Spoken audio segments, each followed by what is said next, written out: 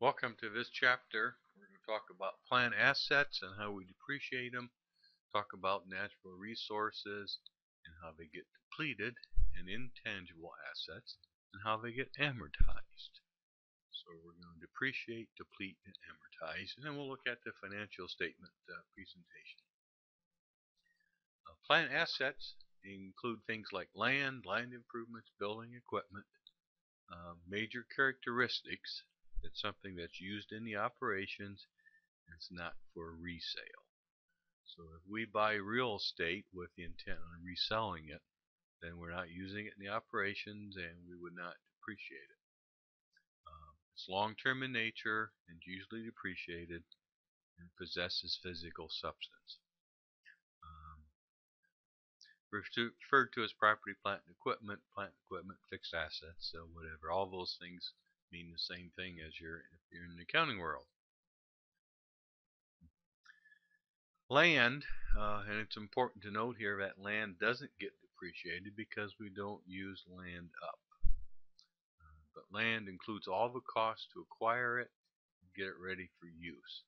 A typical cost would be the purchase price, the closing cost. Um, when you when you buy property, you have closing costs that might have a title search fee or an abstract fee and an attorney's fees. Any commissions you pay to real estate brokers. Uh, if you have to do some land preparation like grading, uh, filling in some low spots, uh, putting drainage in and clearing it, uh, those would all be part of the cost of land. And anything, any assumption of, of debts against a building would be part of the cost. So we got an illustration here Assume that Hayes Manufacturing Company acquires real estate at a cash cost of $100,000. So out of pocket $100,000 as cash cost. Property contains an old warehouse that is razed, that's torn down, at a net cost of $6,000. Cost $7,500 to tear it down. We had $1,500 of things that we could salvage out of there, so net cost is $6,000. Additionally, we had to pay an attorney $1,000 and we had to pay a real estate broker's commission of 8000 So the cost cost of land is 115000 and we compute it like this. Cash price of the property 100000 the old warehouse at a cost of 6000 attorney's fees at a cost of a 1000 and then the real estate broker's commission of 8000 gives us a total of 115,000. Um, so again, we don't depreciate land, so we'll carry this asset on the books uh, forever until we dispose of the land. We'll, and we'll carry it at the $115,000. Land improvement uh, includes all expenditures necessary to make the improvements ready for their intended use. So examples are driveways, uh, parking lots, fences, landscaping, underground sprinklers. Uh, these items uh, do have a limited useful life. Driveways don't last forever, though they last a long time.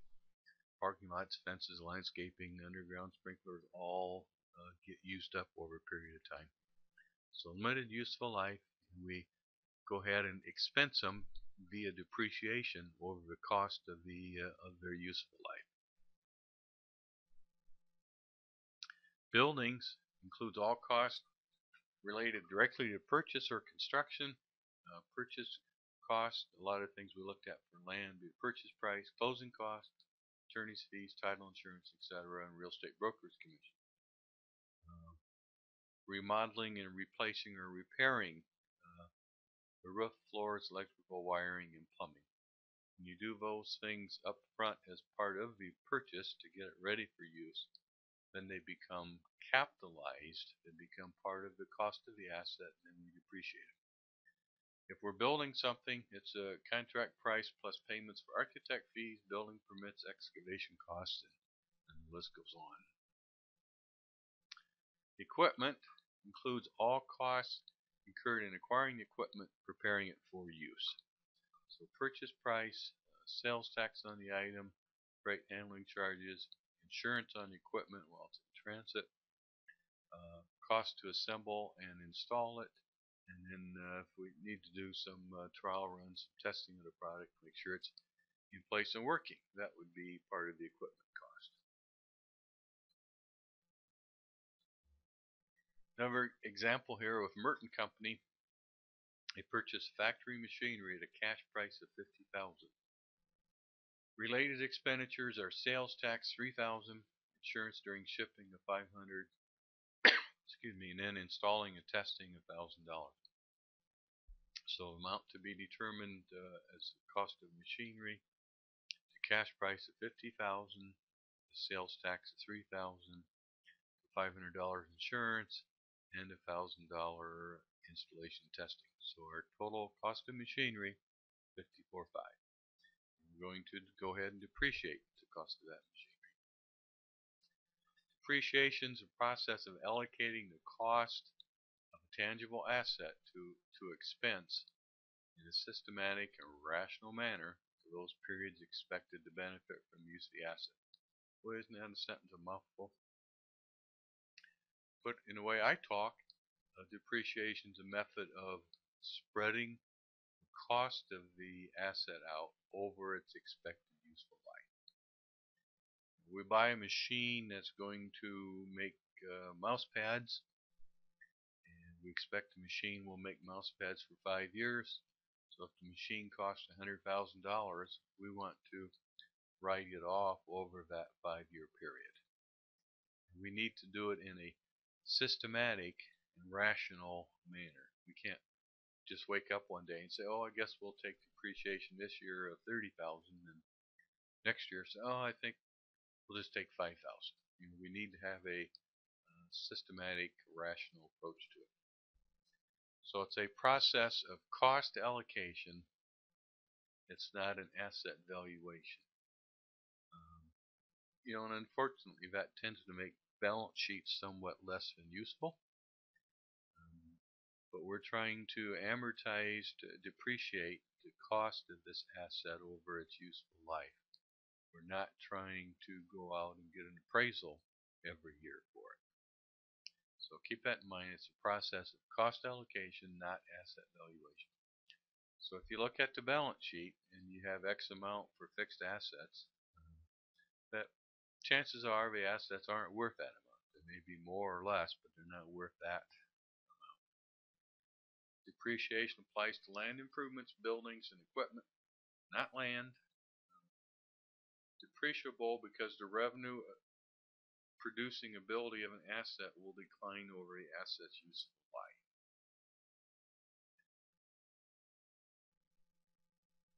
Almost all assets uh, decline and decline gradually. I'm trying to think off the top of my head here of something that just collapses on the set.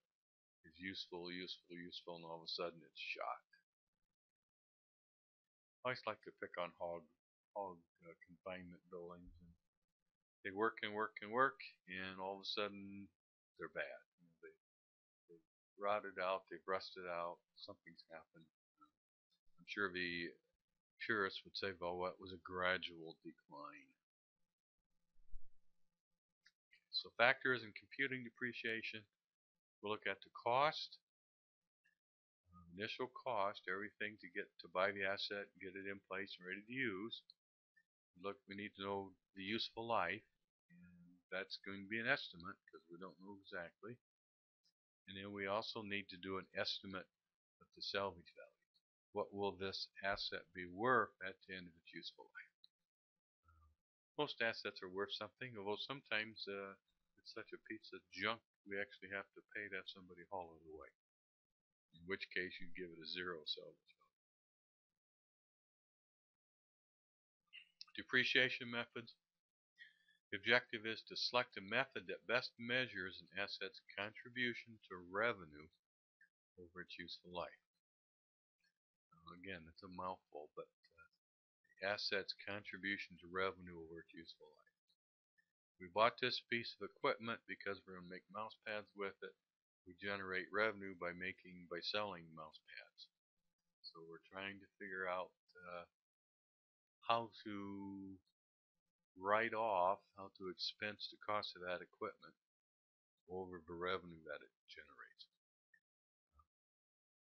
straight line method, and in the little pie chart, the bottom right hand uh, corner of the screen, you're saying 88% of the uh,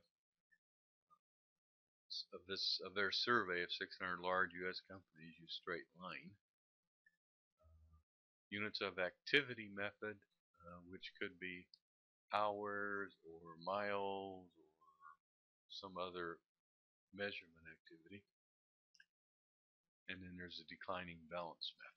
So we're going to take a look at all at those three methods. There's some there's some extra or some other methods that we're not going to focus on.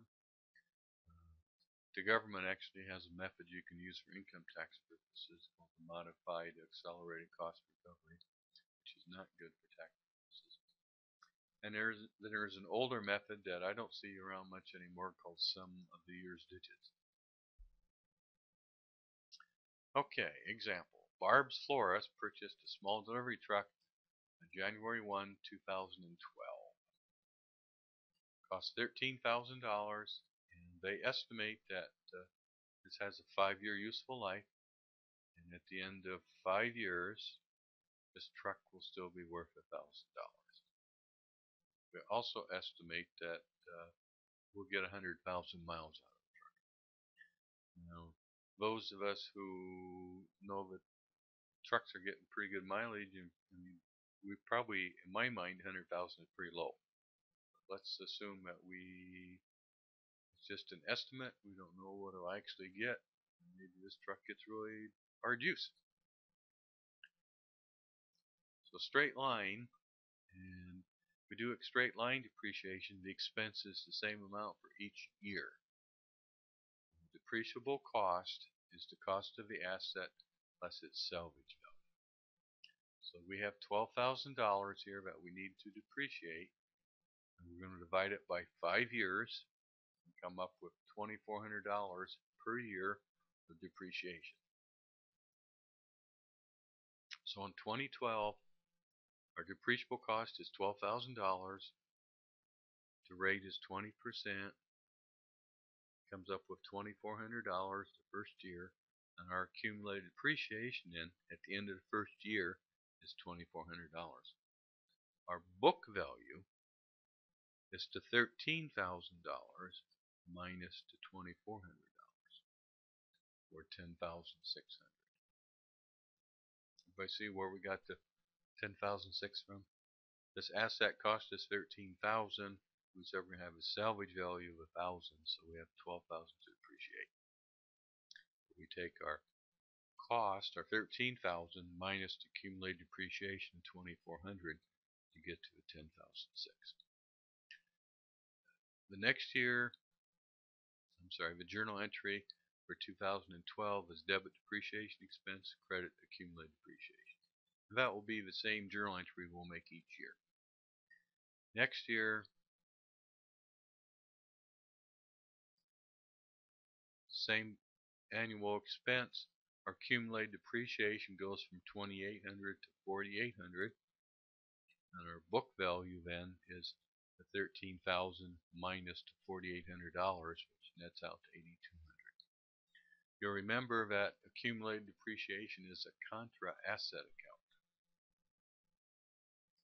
Year 2014, same thing, accumulated depreciation grows by 2400 book value decreases by 2400 Year 15, year 2016, the fifth year. we fully depreciated it. Uh, we're down to 12. We accumulated depreciations at $12,000. We have $1,000 left in our book value, and that's what we think our salvage value is. So we haven't depreciated below salvage, we depreciated it down to salvage value. Units of activity, the company estimates total units activity and calculate depreciation cost per unit. Expenses vary based on units of activity. Uh, in other words, how much did we use the asset this year? And then depreciable cost is cost less salvage. So that last part's the same as the straight line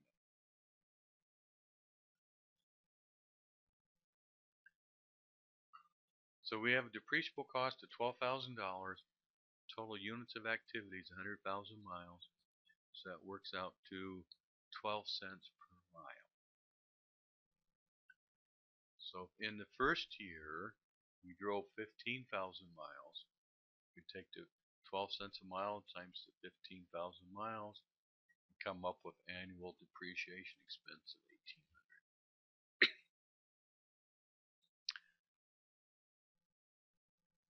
yeah, you know, in addition to miles, the other common units of operation would either be units produced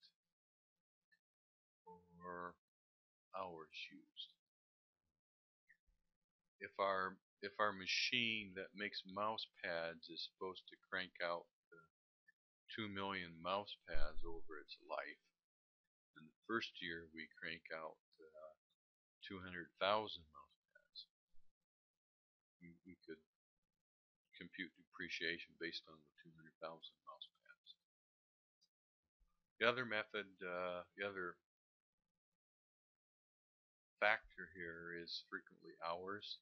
A lot of equipment gets uh, depreciated based on number of hours. So that's something like a forklift or a bobcat uh, or a tractor. look at how many hours that equipment is operated during a given year.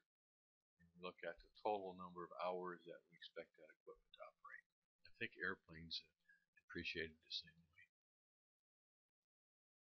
So example here of the truck.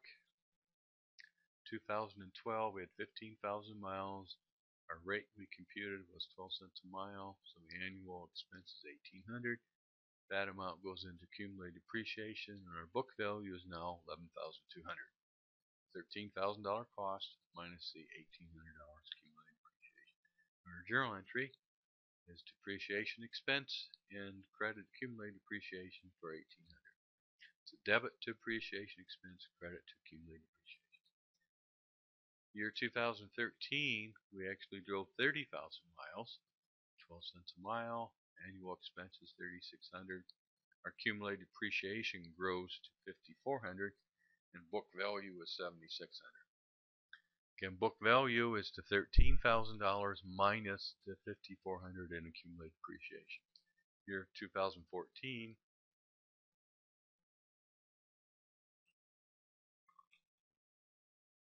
We drove 20,000 miles.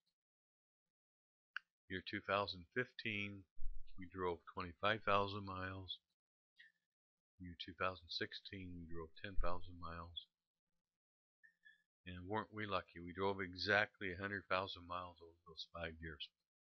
Now, obviously, in real life, that never happens. But in accounting textbooks, sometimes crazy things happen. So declining balance method, uh, frequently called the double declining balance, uh, decreasing the annual depreciation expense over the asset's useful life. Declining balance rate is double the straight line rate and rates applied to book value.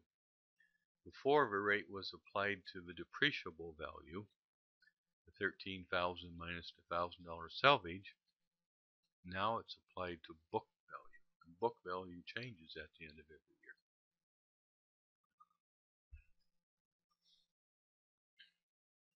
The assumption with declining balance method is that the asset is more productive early in its life. And as the asset get, gets older, it, it's less productive, generates less revenue.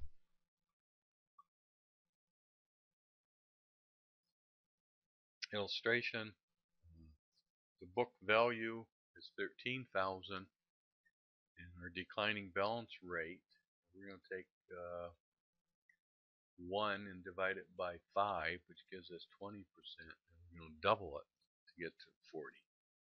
So our first year depreciation is 40% times 13,000, 5,200. That amount goes in accumulated depreciation, and that 5,200 gets subtracted from 13,000 to come up with a book value of 7,800. Now next year, our beginning book value is the 7800. The rate's the same. You take 40% of 7800, get 3120. Accumulated depreciation becomes 8320. The book value declines to 4680. Guess what? Start 2014, our book value is now 4680, same rate. Annual expense is 1872, Accumulated depreciation 10192, our book value is at 2808. We're getting close to the thousand here, but we're not there yet.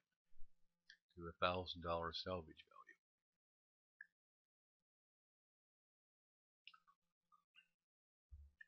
So year 2015, our expense is 11,023. Our accumulated depreciation is 11,315. And our book value uh, is 1685.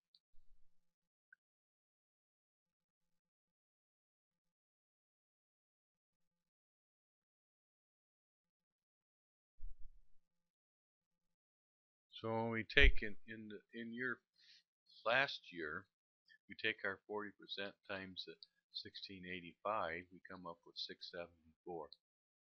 But we want to actually get it.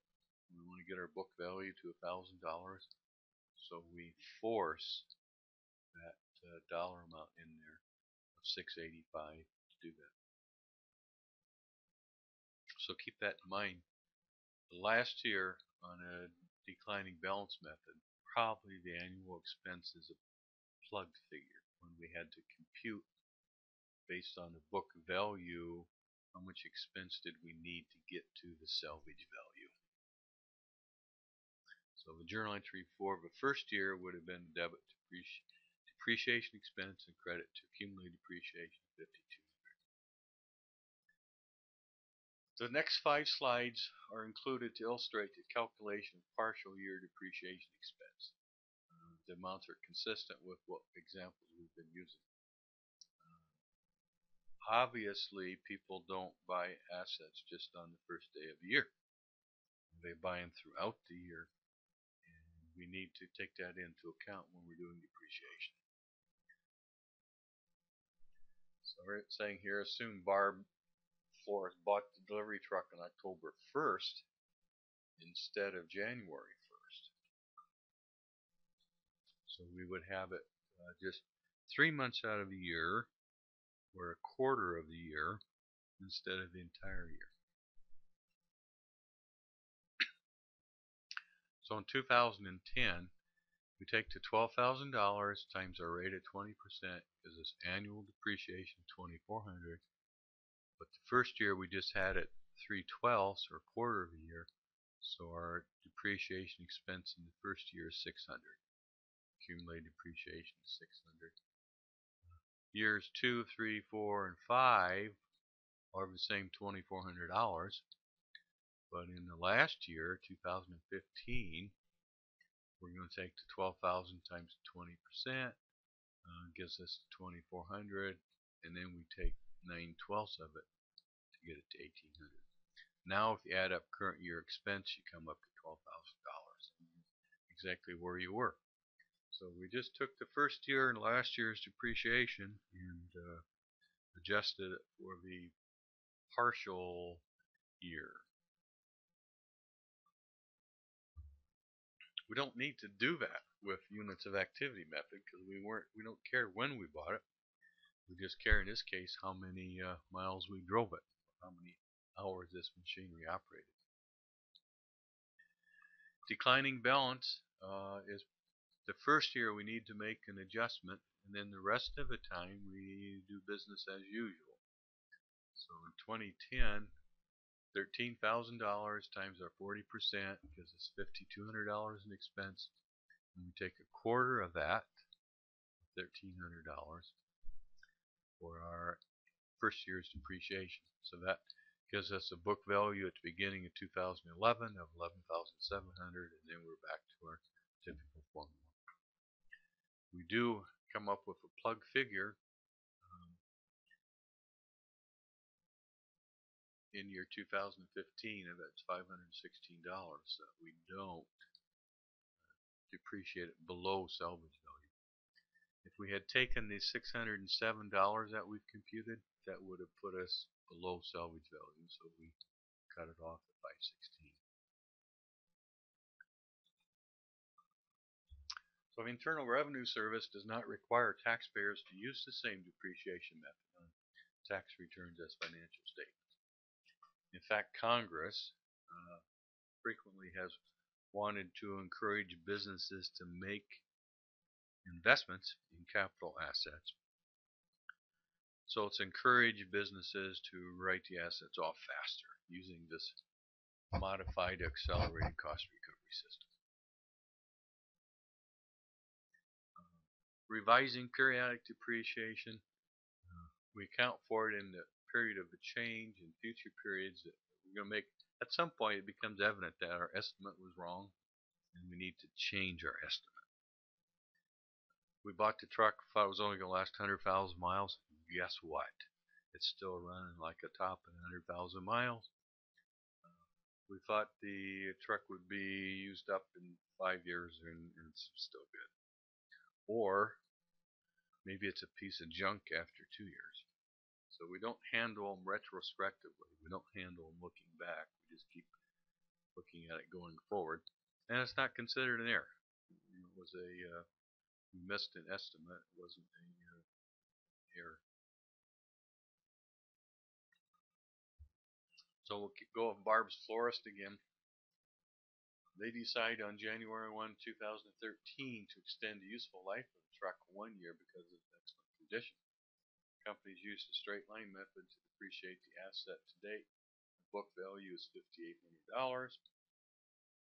What's the entry correct prior year's depreciation? There isn't one because we don't need to correct it. And then to calculate depreciation expense for 2013,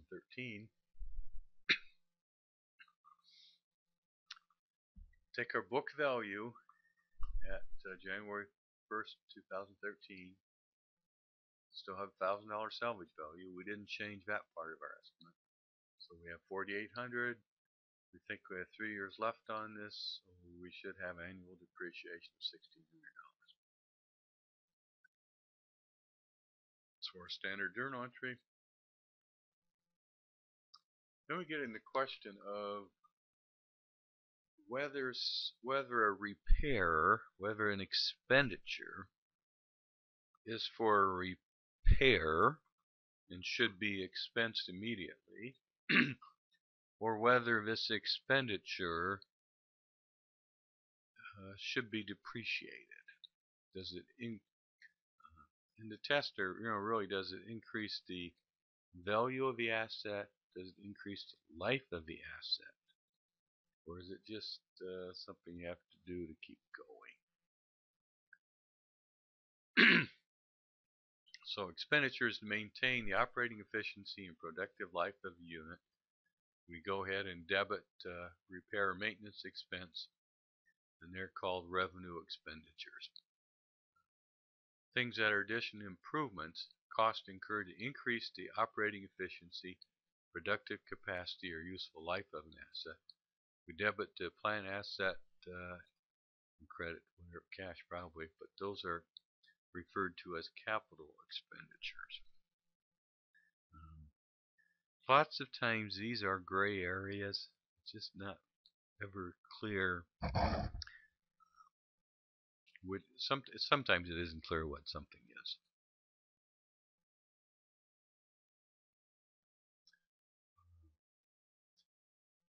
Companies dispose of plant assets in three ways. They retire them, they sell them, or you exchange them. Uh, first thing you do is bring depreciation up to date. Bring it up to the date of the disposal.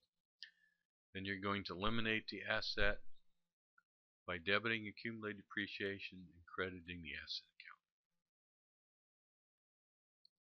And then we'll look see where we had a gain and loss on it, any salvage value.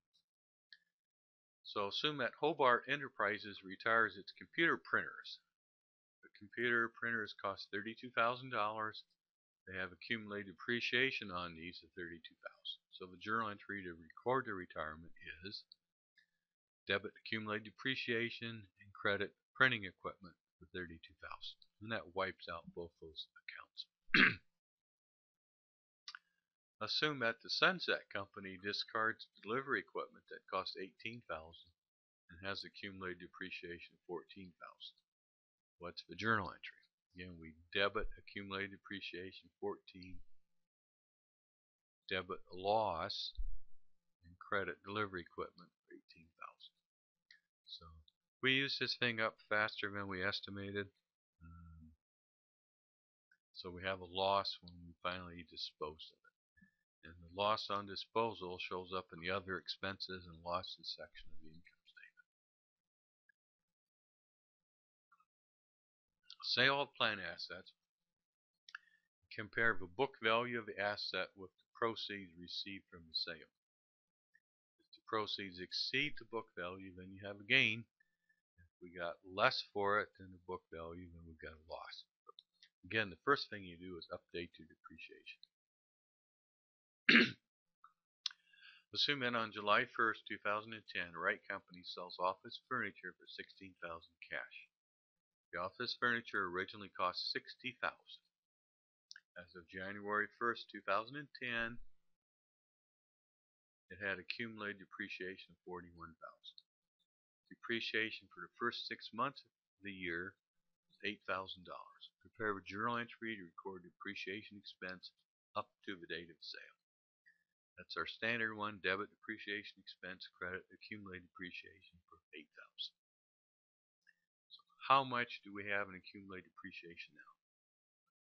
Got the 41000 they told us about, plus the 8000 so total 49 So we do our computation here. Cost of equipment on the books is 60000 less accumulated depreciation of 49 we have a book value at the date of the sale, date of disposal of 11,000. We're receiving 16,000. So we have a gain of $5,000. So to record that, we get the asset to accumulate depreciation off the books, record the gain, and record the cash.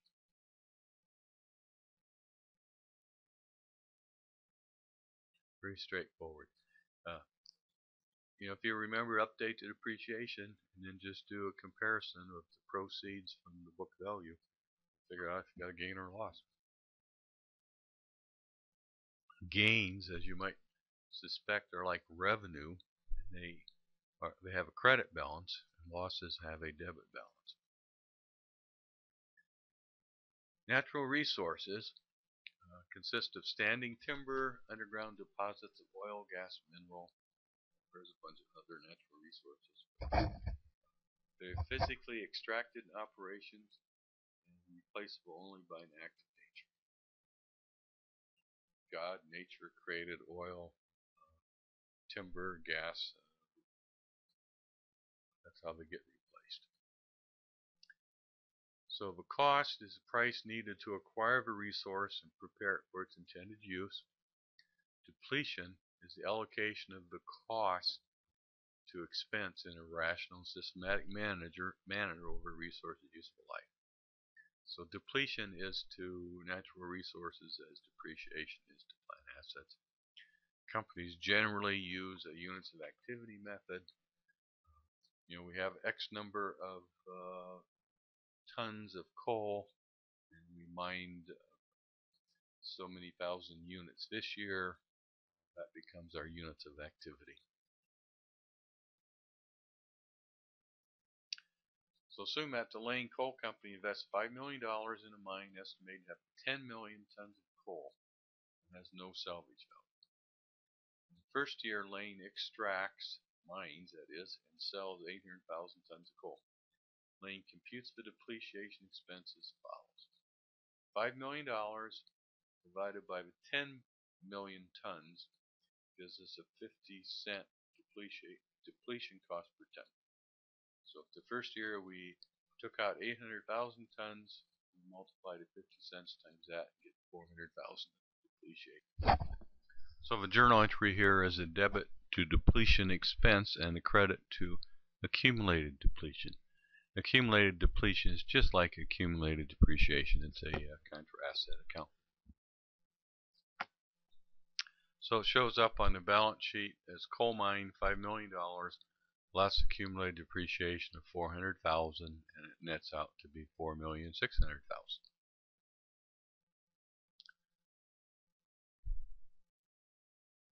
Intangible assets are things you can't kick. The rights, privileges, competitive advantages that don't have a physical substance. Uh, intangible assets are categorized as having either a limited life or an indefinite life. Um, probably most of them with limited life. Common types of intangibles, patents, copyrights, franchises or license, trademarks or trade names, goodwill. I guess trademarks or trade names might have a uh, kind of indefinite life. Some franchises or license might have, but the rest of them probably have limited life. How we value it, uh, if if we purchase the intangible, it's uh, pretty easy. and We record it at cost. It includes all costs necessary to make the intangible asset ready for its intended use, which probably means some legal fees and maybe some attorney fees to defend the title to this intangible asset. Uh, internally created intangibles uh, are generally expensed uh, and only capitalized the direct cost incurred in perfecting a title to the intangible, such as legal costs. As you know, as a general rule, we're not going to have many internally created intangible assets.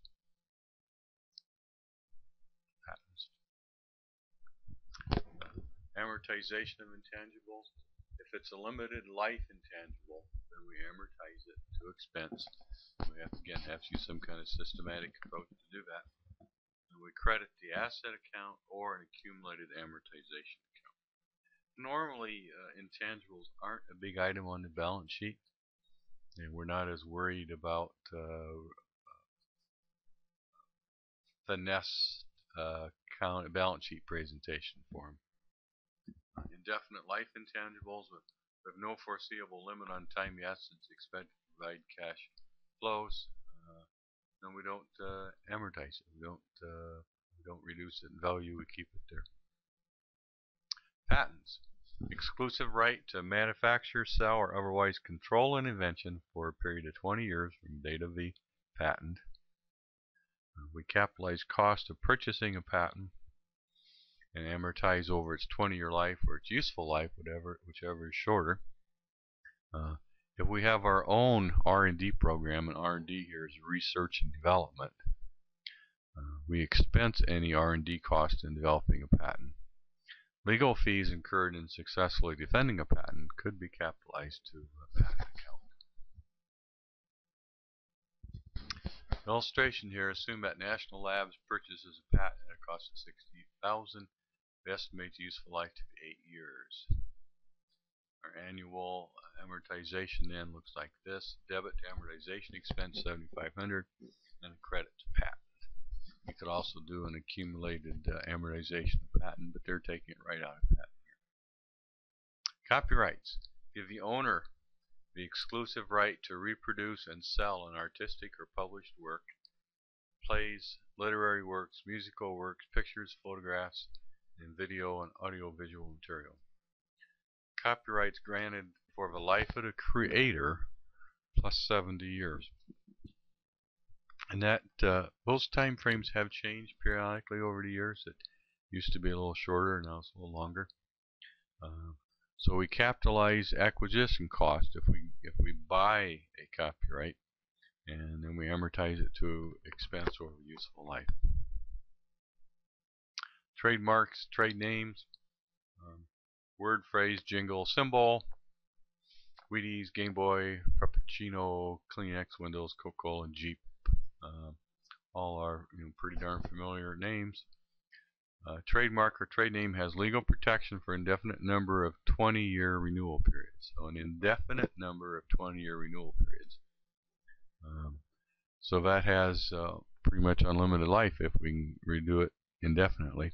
We capitalize the acquisition cost and no amortization of that.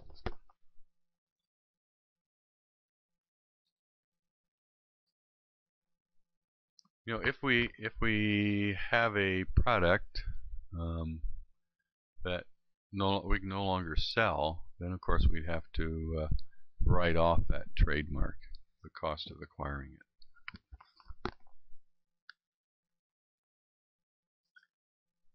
Franchises and license, a contractual arrangement between a franchisor and a franchisee. Examples here are Shell, Taco Bell, Rent-A-Wreck. Uh, to franchise uh, with a limited life should be amortized to expense over life of the franchise. Franchise with an indefinite life should be carried at cost and not amortized. So we pay X amount to get the license to run a Burger King, and if that license is just for a certain period, then we go ahead and expense it over the life of the uh, agreement. Otherwise, we'd uh, capitalize it and not amortize it. Goodwill. Uh, goodwill is always a funny asset, uh, but includes exceptional management skills, uh, desirable location, uh, good customer base, skilled employees, high quality products, etc. Only recorded when an entire business is purchased. Goodwill is recorded as the excess of purchase price over the fair market value of the identifiable net assets acquired. FMV is fair market value. Internally created goodwill should not be capitalized. So we want to we want to buy a business. Um, business is worth a million dollars, but the individual assets only total up to eight hundred thousand. So in this case, we'd be paying an extra 200,000 for the uh, goodwill. So R&D cost uh, frequently results in something in company patents or copyrights such as new product, process, formula, literary work. All R&D costs are expense when incurred. So here's some uh, presentation on the balance sheet. We're showing timber, Oland, Illinois. We're showing timberlands at cost less accumulated depletion, building and equipment at cost less accumulated depreciation. Then we have a total property, plant, and equipment. Intangibles would be patents. As companies usually show natural resources under property, plant, and equipment and show intangibles separately. Um, we do some asset turnover ratios if we want to compare different companies. In this case, we're taking net sales and dividing it by the average total assets. We find average total assets assets by taking the beginning assets, adding it to the ending assets, and dividing it by 2. And then divide net sales by that result. So here the asset turnover ratio is 0.56 times. Each dollar invested in assets produces 0.56 in sales. If a company is using its assets efficiently, each dollar of assets will create a high amount of sales. So the higher that ratio is, the better. Exchange of plant assets. Uh, ordinarily, companies record a gain or loss on the exchange of plant assets. The rationale for recognizing gain or loss is that most exchanges have a commercial substance. An exchange has commercial substance if the future cash flows change as a result of the exchange. So if uh, people do all kinds of bizarre things to avoid income taxes, one of the things they'll do is get involved in some uh, exchanges that don't necessarily make a lot of economic sense. From an accounting point of view, this would have to have some commercial substance before we'd recognize the gain or loss. And they say if a commercial substance means that if future cash flows change because of the exchange. So example here, Roland Company exchanged old trucks. They cost $64,000. They had $22,000 of accumulated depreciation. Exchange the old trucks plus cash of $17,000 for a new semi-truck. The old trucks had a fair market value of $26,000. So here's the calculations. Cost of the old truck 64 less accumulated depreciation means there's a book value of $42,000.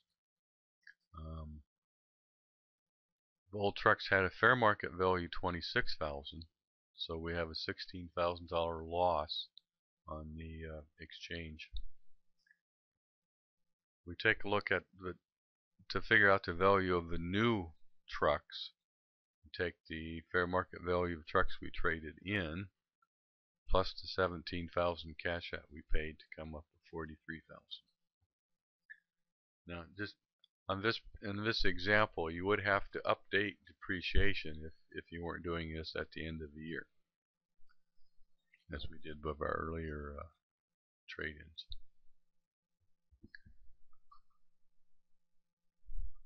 Here's the journal entry to record it. Debit semi-truck 43,000. Debit accumulated depreciation 22. Debit loss 16. Credit used truck 64 to get it off the books. And then credit cash for 17,000. Debits equal credits. Another illustration. Mark Express Delivery trades its old delivery equipment costs 40,000 less 28 in accumulated depreciation for new delivery equipment. The old equipment had a fair market value of 19,000 and Mark paid an extra $3,000 in cash. So we run through the calculations here and we find we have a gain of 7,000. Cost the old equipment costs 40 less accumulated depreciation means we're carrying on the books for 12,000 Fair market value is 19,000, so we have a $7,000 gain. Figure out the cost of a new asset. We look at the uh, fair market value of the old plus the cash that we paid. It comes up with 22,000. So here's our journal entry. Debit delivery equipment new 22,000. Debit accumulated depreciation 28. Credit delivery equipment 40 credit gain on disposal of 7 and credit cash for 3.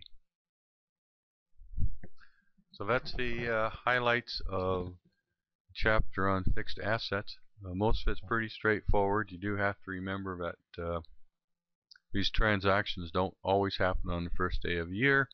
Uh, and so that before we do something in real world, we have to bring uh, depreciation up to date. For most small businesses, um, they're probably going to use a whole lot of the IRS rules when it comes to depreciation and may have to, if, if they have published financial statements that get audited, we'll probably have to make some adjustments to that and get back to an acceptable depreciation method for uh, general accepted accounting principles. Study hard.